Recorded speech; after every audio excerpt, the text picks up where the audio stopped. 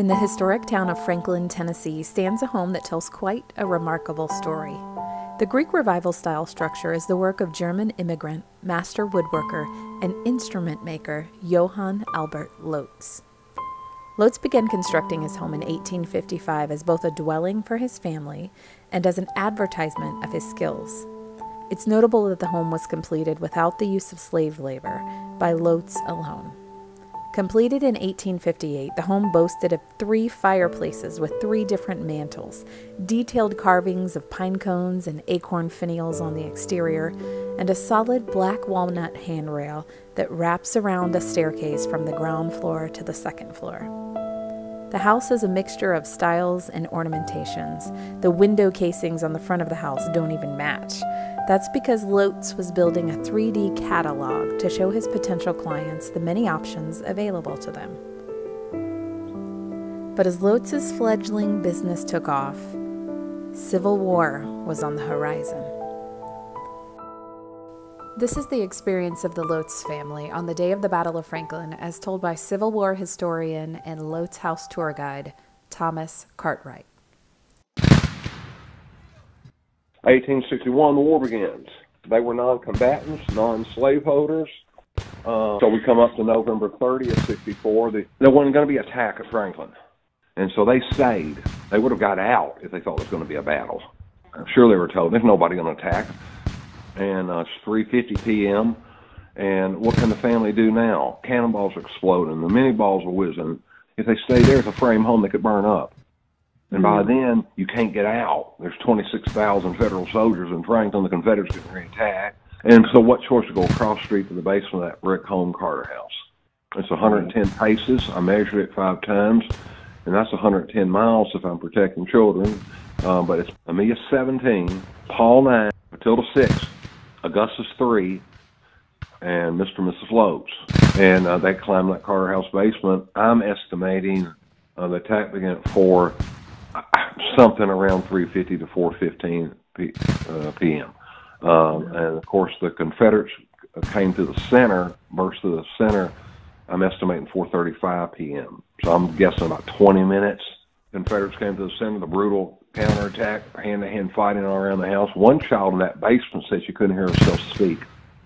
The noise was so loud. 11:30, 1:30, the Federal Army left Nashville, left their dead and wounded.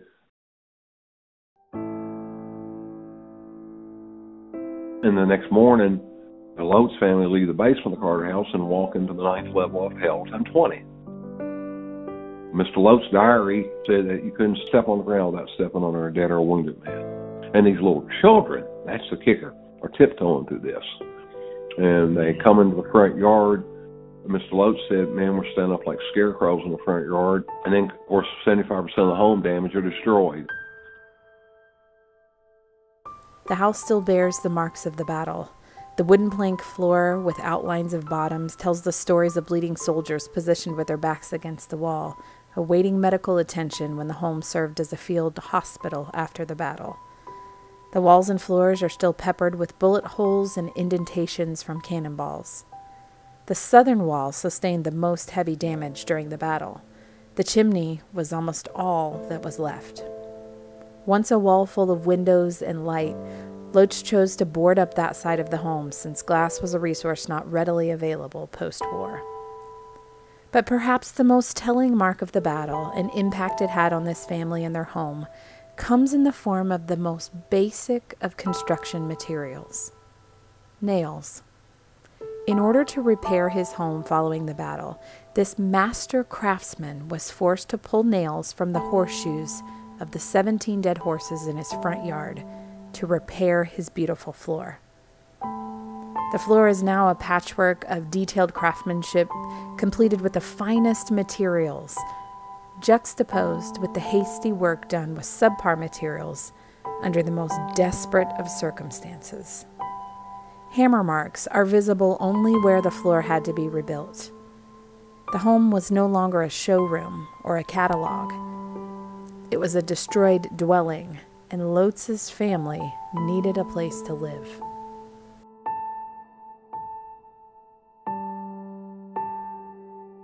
We know that the family lived for approximately six months in the cellar while Lotz repaired the home above with any materials he could find.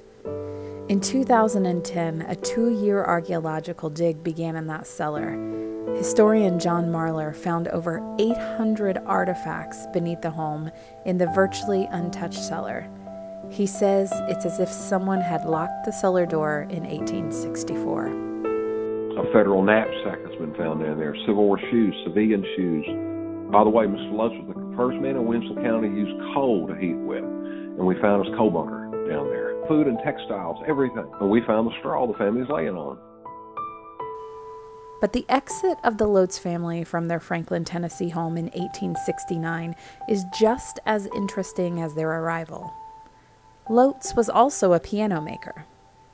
And on one of his pianos, he carved an American eagle with the American flag pointing upward in one claw and the Confederate flag pointing down in the other. The whole country's in grief and mourning. And so now, you know, it's tough in the South. There's no money. Mr. Lotz is having a hard time because his show place home, nobody has any money to do anything. And then, as the story goes about the piano, he had issues with both sides. He didn't discriminate. He wasn't it wasn't a political thing. An eagle onto a piano. The left Italians clutching the Confederate flag, the right Italians U.S. flag is over it. Symbolism was real big back then in clothing, in art, in paintings, and I think he symbolized Soutlaw's work. Somebody comes to look at something, sees the piano, left, old friends, friends came back, a war words began. Remember, this is in November of 69. So the war had only been over with four and a half years, the Battle of Franklin, five. They had just reinterred the dead. They had war words. The family says they told the Ku Klux Klan. And they were going to be tarred and feathered. Uh, he was. He was. He doesn't have money. Nobody has any money. He's struggling and in this. So let's go. He sold the home to Buchanan's for thirty-eight hundred dollars. In our perspective, that's about two hundred and twenty grand for us and left on the eight month wagon train out to San Jose, California.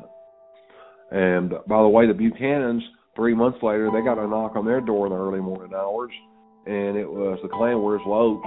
I bought the place and took, the, as the, the family says, I took the piano out and burned it.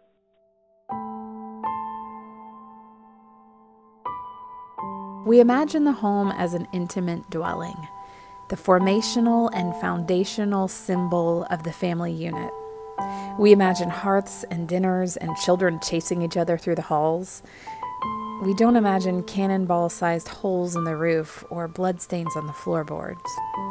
We don't imagine packing up the promise of yesterday under the mortal threat of the present. And still, this was home for this family. In the years since the Lotz family departed their home, the structure has served as an attorney's office where a local lawyer would offer legal advice in exchange for chickens tied up to her front porch. It's also been a sandwich shop, bakery, flower shop, cooking school, apartment house, gift shop, and a haunted house.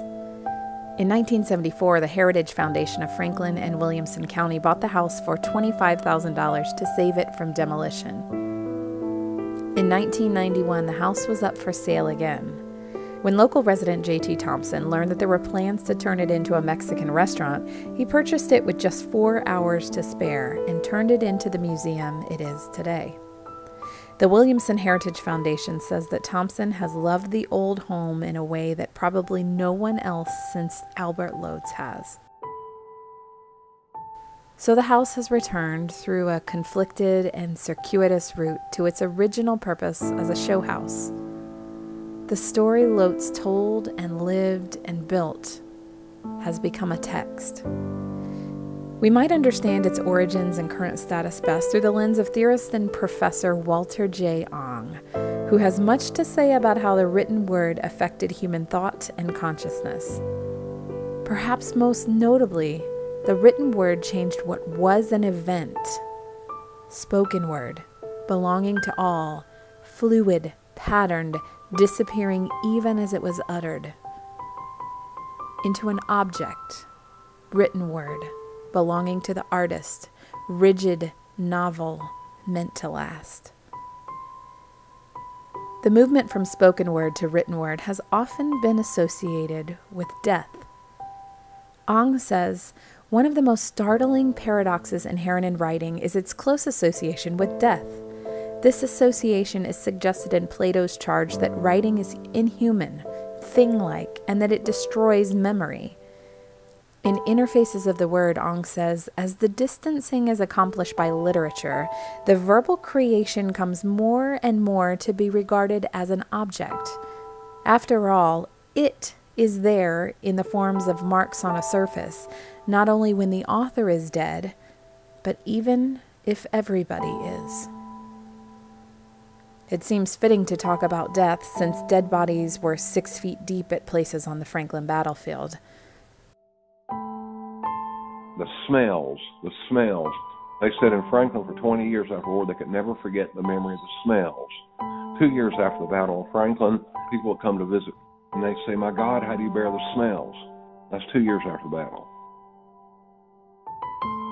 So, as is the case with most texts, this one reeks of death.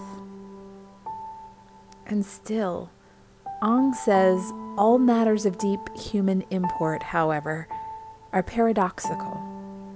In this case, the paradox lies in the fact that the deadness of the text, its removal from the living human life world, its rigid visual fixity, assures its endurance and its potential for being resurrected into limitless living context by a potentially infinite number of living readers. When the text is handed over, when the home becomes a museum, it is resurrected and reincarnated. It now has the potential for being read and reread again and again and again. So, this isn't death as finality, it's death that moves toward new life. As Lotz was crafting the black walnut handrail for the staircase of his home, he was writing.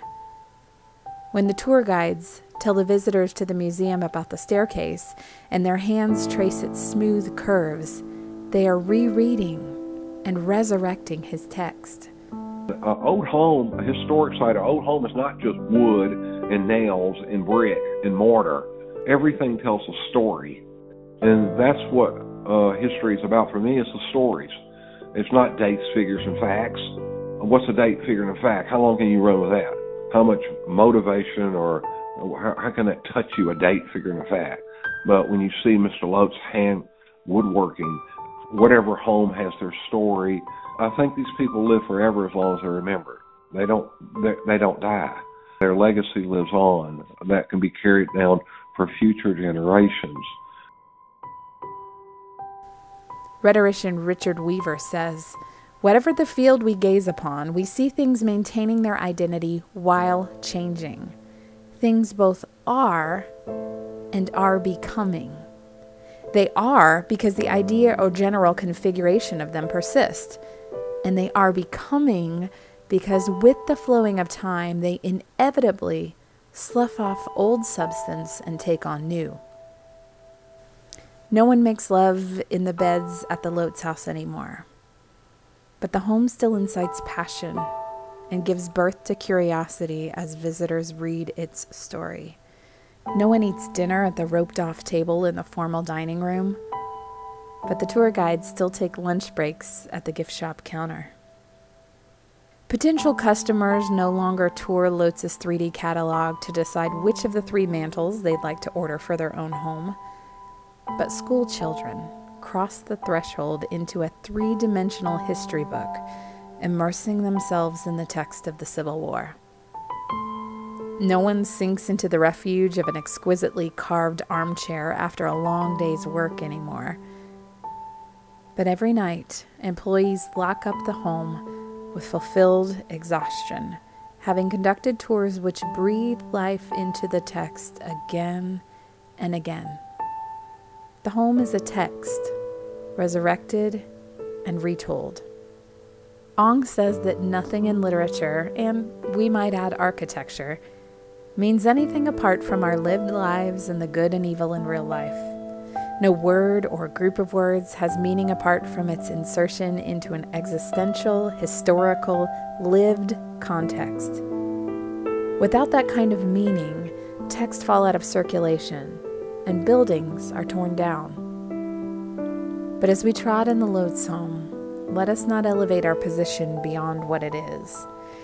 In the deconstructionist vein explored by Sola Morales in From Autonomy to Untimeliness, we should not relativize or make parenthetical the source from which the aesthetic object springs, concerned only with vessels in which are received and appropriated by hermeneutic processes of decoding, eliminating the author in order to give pride of place to the receivers.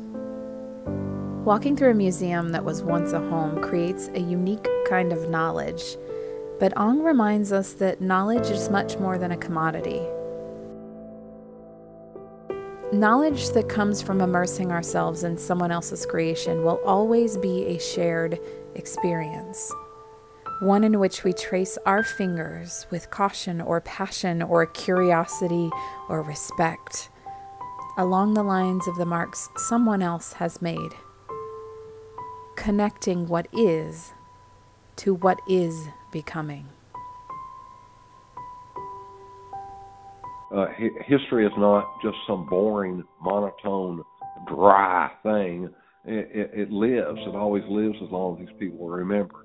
As long as they remember, they never die, and they'll always be remembered at the site today.